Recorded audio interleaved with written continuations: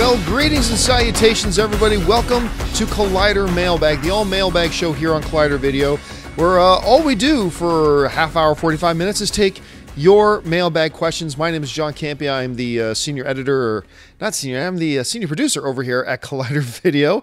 And I am so glad you decided to join me on this Sunday for our little chat. For those you don't know, uh, like the title of the show says, you guys send in mailbag questions to us by sending them simply to the email address collidervideo at gmail.com. Once again, that's collidervideo at gmail.com. And then Monday through Friday, we pick out a couple for movie talk. And here on the weekends, all we do is just take a whole bunch of mailbag questions and kind of just talk movies for a little bit. So, without any further ado, let's get into the first question of the day. And our first question today comes to us from Noel Davila, who writes, I've been a fan since the days of Phellipe, the sentient dancing microphone. Well, thank you so much. I'm sure Phellipe appreciates that. Uh, my question is a two parter. Have you noticed a parallel of the Daniel Fleetwood story to the plot of the movie Fanboy from 2009 about a terminally ill fan who gets to see Star Wars Episode 1 before it's released in theaters? Are there any other movies you can think of that predicted the future so accurately? Thanks, and bring on the filthy. Yeah, for, for those of you who don't know what Noel's talking about, um, of course, there there was a story. We addressed this on Movie Talk the other day. Um, there was a story about uh, Daniel Fleetwood. He was a terminally ill um, cancer patient who was not, they didn't think he was going to make it um, to December 17th, December 18th, when the new Star Wars came out. He's a lifelong Star Wars fan. And uh, online petition started, and uh, everybody started with the hashtag trending like Force for Daniel or something along those lines. And what happened was Daniel got to see the movie. And then three days later, he passed away uh, in his sleep, having got to see the movie. And it was just an amazing thing. And I'm not going to go into the whole thing again because I covered it on, on Movie Talk. Uh, but it just, it's a beautiful story. It, it really is. Amidst the tragedy of the situation, it's a beautiful story. Now, for those of you who don't know, there was a movie out a number of years ago called Fanboys that kind of had that same kind of idea. At least it started off with that kind of an idea and where a bunch of fans wanted to go see the Phantom Menace, uh, so their terminally ill friend could see it before. Now that's how long ago it was, um, and it was directed actually by a guy I know. I, I know uh, it was the director of the film was a guy by the name of uh, Kyle Newman, and I know Kyle. Uh, Kyle's actually been a a guest on the earliest incarnations of Jedi Council before. He was also my special guest on our annual Masters of the Web panel this year at Comic Con. Uh, and I got to see him again hanging out in the line at Force Friday at midnight at the Toys R Us. Um, and Kyle's a great guy, gifted director, all that kind of stuff. And so it was kind of a situation of life imitating art. But I, I don't know that I would call that situation a movie predicting the future. I mean, the idea of a you know a terminally ill uh, patient of any kind wanting to to see something or experience something before they died. I mean, that's kind of a common thing. And the fact that it kind of revolved around Star Wars, I'm sure, was nothing new. So I don't know that Daniel's situation was an, a situation of the future being predicted by fanboys so much as it was that it's just an example that good film imitates life and recognizes scenarios and the remarkable situations we find in life. So I, I, I don't know this is one of those things where I would call it movies predicting the future. And so I think there's a lot of movies. I mean, if we go down through the list, you could probably think of like 10 movies off the top of your head that reflected what is probably a real life situation that happens every day. And then something specific in the news stands out but it's really something that probably happens all the time. And I think that was a situation with Daniel, and just enough people got behind behind Daniel, thankfully, to make sure he got his dream fulfilled. And I know it's happened for other people as well. So uh, yeah, so I would highly encourage you guys, if, if you don't know much about Daniel's story, to go and read up about it. It'll uh, restore a little bit of your faith in humanity. Thanks a lot for the question. All right, the next topic today comes to us from a movie maniac who writes. Hello, Collider crew. Let's play a game.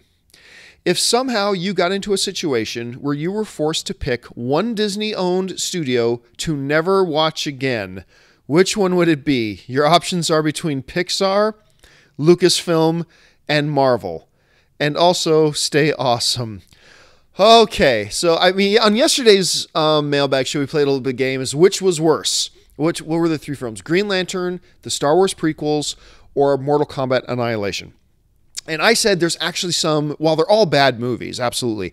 I said there are some redeeming qualities about the Star Wars prequels. There's some redeeming qualities about the Green Lantern. There's no redeeming qualities about Mortal Kombat Annihilation. Not to be confused with the original, also terrible but awesome Mortal Kombat movie.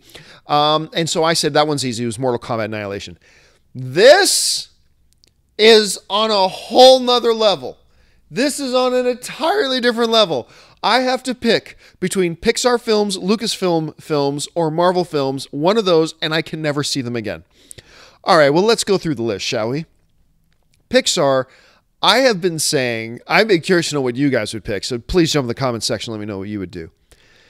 I've been saying for a lot of years that Pixar is not just, I mean, by miles, the best animation studio in the business.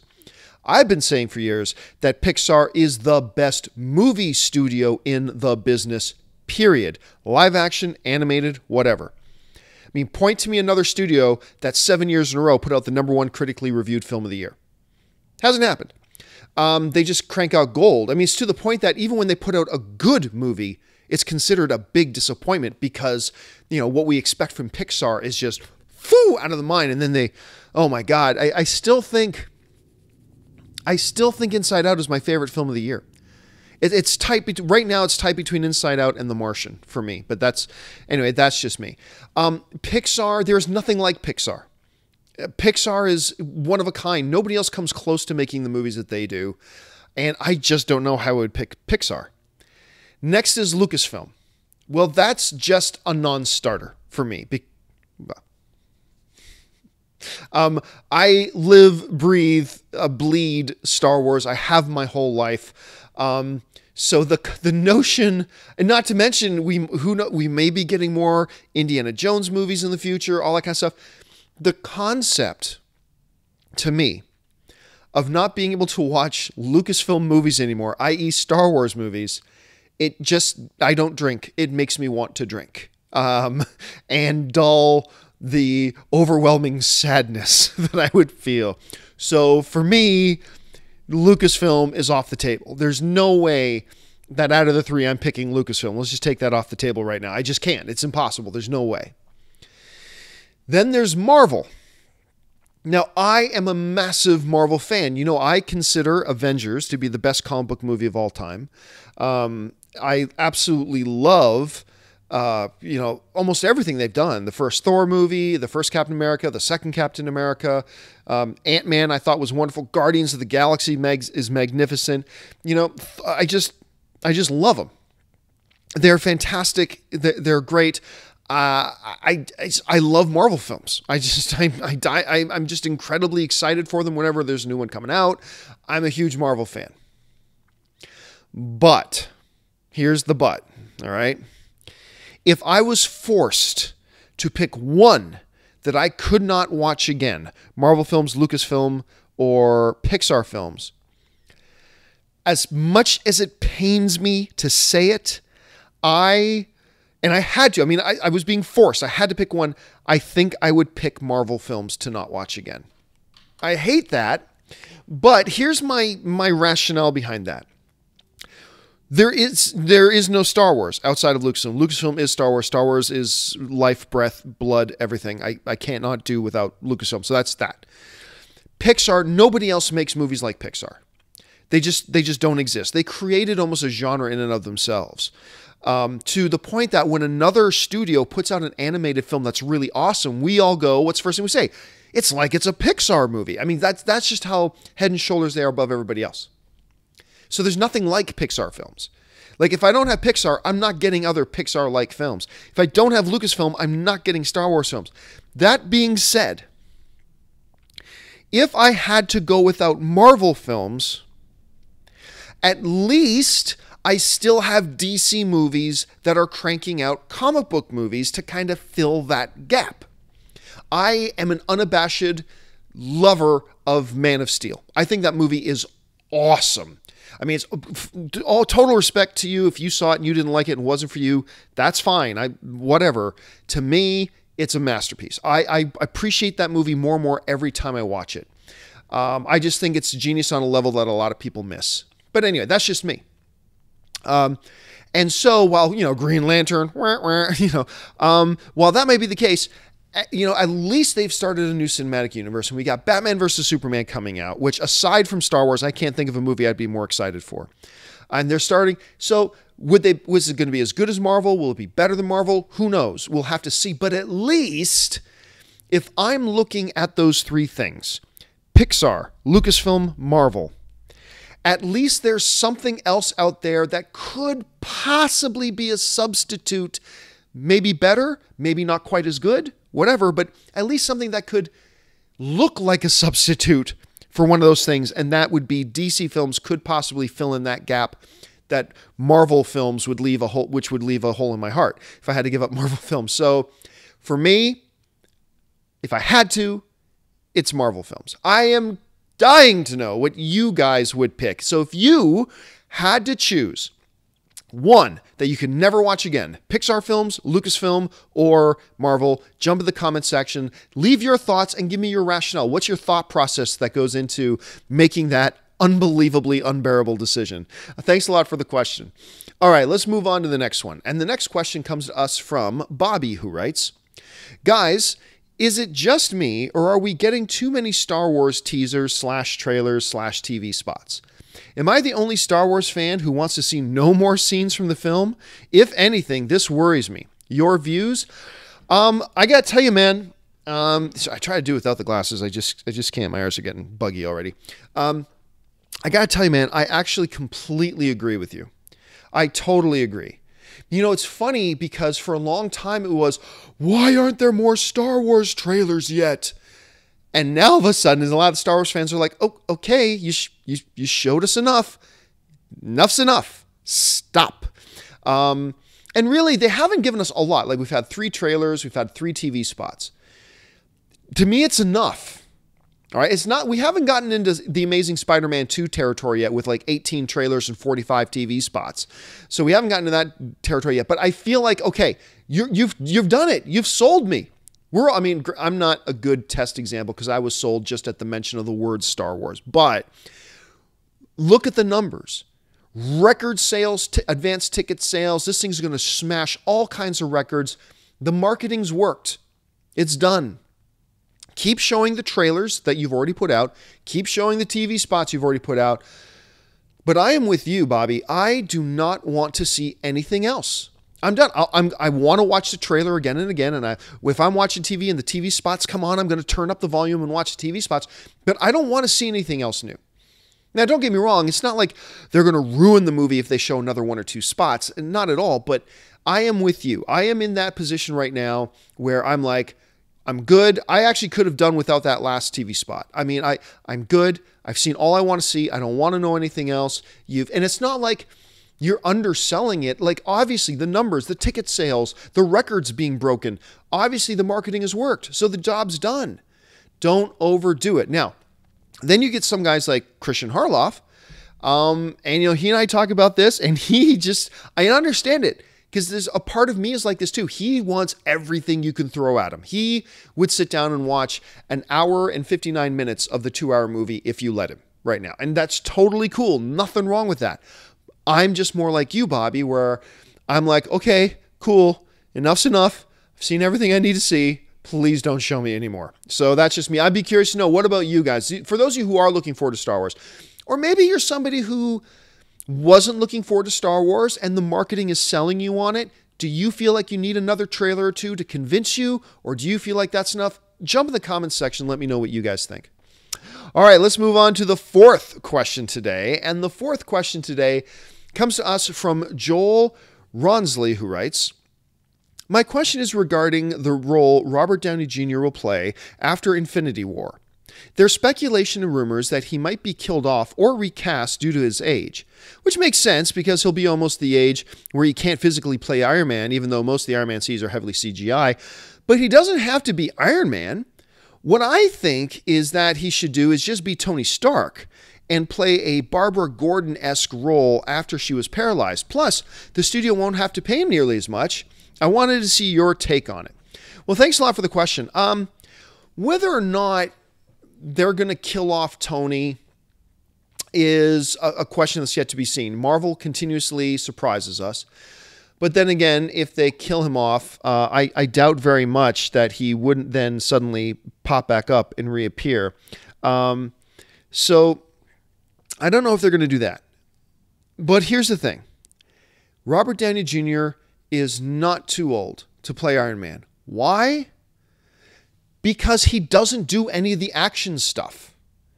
I mean, whenever you see Robert Downey Jr., yes, there are physical Iron Man outfits, but I think I was watching a documentary recently, so even then they were just CGIing everything on top of him. I mean, it's not like Don Cheadle who actually had to move around in a 70 pound suit. I mean, Robert Downey Jr. doesn't do any of the action scenes. He's just Robert Downey Jr. He's just basically he's just Tony Stark, and the CGI animators are Iron Man.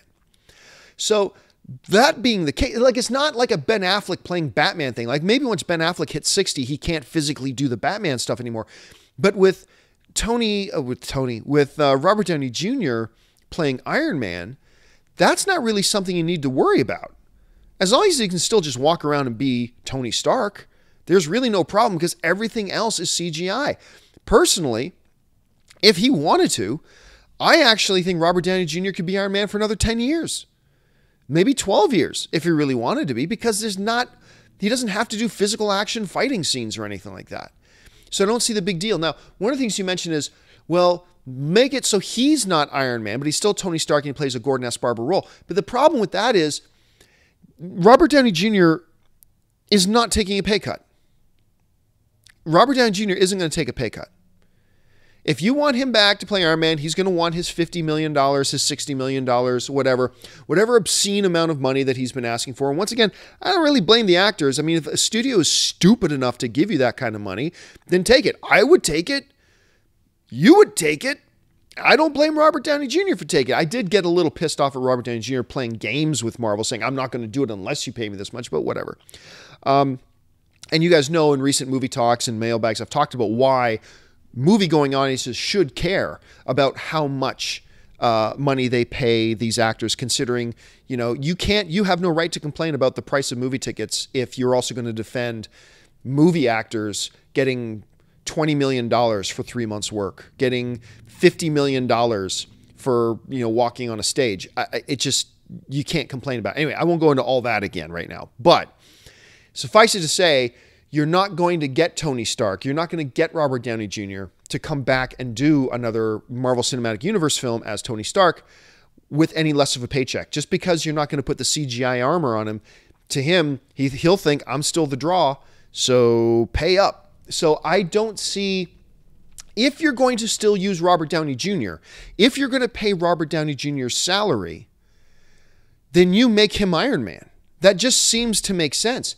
It's like, let's pay LeBron James, use a sports analogy for a second. Let's pay LeBron James $25 million a year, but let's just have him play the last five minutes of games. No, no, no. You're paying him $25 million. You get out there and you play. Let's get our money's worth. And I think that's probably would be the same scenario. Now, then again, Marvel and Robert Downey Jr. might have already reached an agreement that Infinity War Part 1 is it. That they're going to kill off Robert. I doubt they're going to kill off Tony Stark, but maybe they recast him. Uh, I have a feeling they would recast Tony Stark before they would ever kill off the character because the character is just too profitable. Even if it's not Robert Downey Jr. playing it, the character is going to be profitable. So I don't see them uh, doing it that way. Just my opinion. Jump in the comment section and let me know yours. All right, let's move on to the next topic. And the next question today comes to us from Raymundo, who writes we often hear people saying that they want a live action version of a book, comic book, animated show, movie, etc. Why is that? Why do we crave seeing live action version? Do we see them as better or more adult? I don't understand why we all crave this. A good story is a good story regardless if it's live action or not. Love to get your thoughts on this. Well, well first of all, Raymundo, I, I do completely agree on the one point that a good story is a good story is a good story. That's part of the reason why for a lot of years, I've been really pissed off. Not pissed off, but I, I kind of roll my eyes at the idea of a best animated feature category at the Oscars. The Oscars made that category as a cop out. So they didn't have to deal with all the questions they were getting as Pixar movies were getting better and better. And, and year in, year out, being the number one critically rated films of the year, and not getting nominated for Best Picture, the Oscar was just looking for a cop out as a way to, okay, let's give it its own category so we don't have to deal with these questions anymore. Um, because I've always said a good movie is a good movie is a good movie. A good story is a good story is a good story. And it doesn't matter if it's live action or animated or stop motion or claymation or whatever. Good movie's a good movie is a good movie. Now, that being said, you're asking a different question. You're asking why is our natural inclination to want to see it live action because and I and I agree with you we do do that and I think it's understandable that we do that because live action is the manifestation of what our imagination has come up with.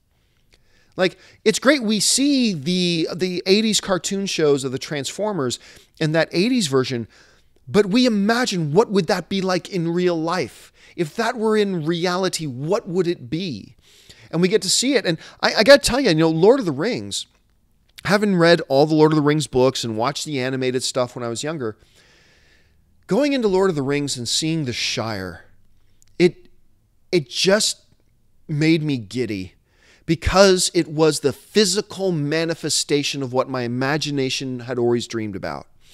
And I think that's why we have our first inclination to want to see them live action. Now, that's different from saying live action is better. That's a different situation altogether. We're just saying that why do we have a natural desire to see our favorite books, our favorite cartoons, our favorite comic books, our favorite stories? Why do we have a, a desire, a built in desire to see those in a live action big screen? I think it's because we yearn to see that physical manifestation. What would it really look like? That's the question in our heads. Once again, that doesn't mean that, that live action is better or worse or just as animated films or whatnot. Not at all. That's a separate issue. But I think it's really understandable that deep down, a lot of us have the desire to see what would this look like in real life. All right, let's move on to the next question. And the next question today comes to us from Ali Sutherland, who writes, Hey Collider, love your show and watch it daily. Y'all are more entertaining than you can imagine. Well, thank you very much, Ali. My question is if Suicide Squad does well next year, do you think Poison Ivy will be introduced in a sequel? In the New 52, everyone knows about Harley and Ivy's relationship. Do you think that since Harley is so hugely po- uh, popular that she might get her own movie and Ivy will be introduced? Well, thanks a lot for the question, Ellie. And for those of you who don't know what she's talking about, there are incarnations of the comic book, New 52, whatever, where actually like uh, Ivy and um, Harley Quinn have have a relationship. They actually have a relationship together. Um, it, but there's two separate questions. Do I think there could be a poison ivy later? Is a totally separate question from will it be because we want to see Harley and Ivy together? I think those are two separate issues. I think we are going to see an Ivy at some point. And the at least what it looks like is the nature, pardon me, what looks like is the nature of Suicide Squad. It looks like a Poison Ivy character would fit really well into that world. And I think that if Suicide Squad does well and they want to do more films, I do see Ivy fitting in well there. Maybe, but maybe it doesn't necessarily even need Suicide Squad. She could pop up in another movie, maybe a Batman standalone movie, maybe an Aquaman movie, maybe a Cyborg. It, it doesn't matter. There's a lot of places she could fit in. Now, then that brings up the sec, but I don't think that would necessarily happen just because people want to see Ivy and Harley together. I have a feeling they want to explore Harley and Joker. Or what looks like might be a little bit of a love triangle with Harley and Will Smith. I mean, I, I don't know. So if they do bring her in, I don't think it'll be to explore that relationship between Ivy and Harley, although that is certainly a possibility, especially in today's movie going world. I mean, that is certainly a possibility. Um, but I don't think if DC decided not to pursue an on screen relationship between Ivy and Harley, I don't think that at all deters or lessens the chances of us getting Ivy on screen at all in the first place. Because I do think they, I would be surprised if they didn't already have some kind of plans for her. I think they do. And I think sooner or later, we're going to see Poison Ivy on screen. Just my thoughts. All right, let's move on to the next question. And the next question today comes to us from Alyssa Kaiser, who writes, Hi, my name's Alyssa. This is my first time submitting a question to you. Well, thanks for writing, Alyssa. But do you think that Barry's father, ooh, a TV question, that Barry's father is Zoom, Or is it Barry because all the other Earth 2 characters have an opposite of themselves? Or I think the only theory for Barry's father being Zoom is because he gets out of jail and then just gets up and leaves. What do you think and why? Well, I had a theory for a while. We're talking about the TV show The Flash. I had a theory for a while that Zoom was actually Barry from Earth 2, but Zoom is just so physically bigger than Barry that I got a feeling that's not the case. And I thought I had some good reasons for thinking. Like uh, the Earth 2 doppelgangers like to seem to kill their Earth 1 doppelgangers, so whatever. Um, but then somebody sent me a picture of the guy who plays Barry, Barry's father, John Wesley Shipp. And I talked about this last week too, and we brought up that picture where if you look at the eyes on Zoom and then the eyes on Barry's uh, John Wesley Shipp, they were they're awfully similar. They are awfully similar. And so I am now in the camp where I once was in the camp that I thought Zoom was Barry from Earth 2, I am now in the camp that Barry's dad from Earth 2 is Zoom. That's the theory I'm subscribing to right now. And I think there's a lot of good reasons to believe that.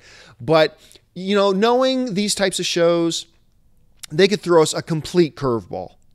They could throw us a total curveball at any time that kind of trounces both of my theories. But that's what I believe. I'm believing the same thing you are. Let's keep tuning in and see what how it's. So do me a favor. If you guys watch uh, The Flash, jump into the comments section. Let me know. Who do you think Zoom is? I'd I'd be curious to hear any other theories. All right, last question of the day and of the weekend. And this question comes to us from Joseph Hera, who writes Hey, guys and gals. Personally, I can't stand when an actor or actress takes on a role in an action movie and turns around and won't support it and says guns are bad. Uh, this has made me lose respect and appreciation for the few people in the movie industry. Is uh, would love to hear what you folks think. Thanks, and may the force be with you all. Um, yeah, I mean, I don't know of many situations like that. I can only think of one, uh, and that was the Jim Carrey situation a couple years ago with um, uh, Kick Ass 2, where Jim Carrey starred in the movie and then all of a sudden said, I'm not, he, he decided he announced he wasn't going to promote the film because he thinks he doesn't want to glorify guns and stuff like that. It's like, well, you were just, you took the paycheck and you were in the movie and now you're saying you don't want to promote the movie? I mean, that was weird. Now, I don't mind um, like an actor or an actress who is totally against guns, wants all guns banned, all that kind of stuff. Uh, I have no problem with those actors or actresses being in action movies. And because, you know, some people, I heard this stupid, stupid argument once where some, there was an actor who was like really heavily against guns. And they were in uh, some kind of cop movie where there was some gun action. oh, that guy's being a hypocrite because he's in a movie with guns. It's a movie. Do you think every actor they've ever cast to play Adolf Hitler actually wants to exterminate the Jews? No. No, no. He's an actor playing a role in a movie. Do you think like any bad thing like do you think that actors will only do things in um, fictitious roles they're there to play a character who is not them. That means they're playing a character who will not do what they themselves would do. That's what acting is. So I reject as stupidity uh, any argument that I hear people say is, oh, that actor is against guns in real life. He, that turns me off because he's in movies where in the movie his characters carry a gun. It's a movie. It's a movie, for heaven's sakes. One of my best friends, um, is a hardcore pacifist. He's actually uh, a minister of like the largest church in Canada. Uh, super guy, total hardcore pacifist, believes in no violence whatsoever. Believes in absolute no violence. That being said, you know what his favorite movies are? Violent movies, because as he once said, pacifist I love being pacifist, but pacifist movies would be boring eh, because it's a movie, it's make believe, it's not real. So, I mean, these people who who just really have a political axe to grind. Look, everybody has a political axe to grind. I don't care if you're left wing, I don't care if you're right wing, everybody tries to grind their political axe. But when people who, you know, uh, somebody who's an NRA apologist and an NRA representative, if they're an actor, I have no problem with them going into a movie and playing a pacifist who's totally against guns. You know why? Because it's a movie. I have no problem with some actor out there who's very politically active about guns should be banned and yet going into a movie and playing a cop in a shootout. You know why? Because it's a movie. It's not real life. They're playing something that they're not. So I have no problem with that. But now, that being said, this situation of like a Jim Carrey, and you said you don't like when actors, I don't know if there's been other situations like this. If there are, I haven't heard of them. Let me know in the comment section. But this situation of where Jim Carrey was, look, I'm a big Jim Carrey fan, good Canadian kid, all that kind of stuff. But I was turned off. Um, I was turned off by Jim Carrey when he took the paycheck, performed in the movie, knows it's just a movie, and then comes out and says, I'm not performing, I'm not promoting this movie because there's guns and violence and I'm against guns and violence. Like you're you're allowed to be against guns and violence and still promote a movie. The movie's called Kick Ass for heaven's sakes. It's make believe, it's fantasy. Get your head out of your ass and go promote the movie. You took the check pretty fast. So, while I am totally fine with people who are in gun and violence movies being completely against guns and violence off screen, I am, like you, very turned off by an actor like I said, the only situation I can think of is the Jim Carrey one, who will perform in a movie and then come out and refuse to promote the movie. That did turn me off quite a bit. That's just my opinion. Love to hear what your guys think as well. Well, that'll do it for us, guys, for this installment of Collider Mailbag on this Sunday. Thank you so much for joining us. Hey, just want to remind you, it is uh, the reason my face looks so stupid is that it is no shave November. Uh, I, so I do this so hopefully when you look at my face, it realizes, hey, that face looks stupid. Oh, that's right, it's Cancer Awareness Month. Maybe we should donate a little bit of money to cancer research. That's what the whole idea of uh, No Shave November is. I hope you guys will participate in that as well. Make sure you subscribe to our Collider Video YouTube channel right here here. And uh, that'll do it for us, guys. Thank you so much. I hope you all have a great weekend. And until next time, bye bye.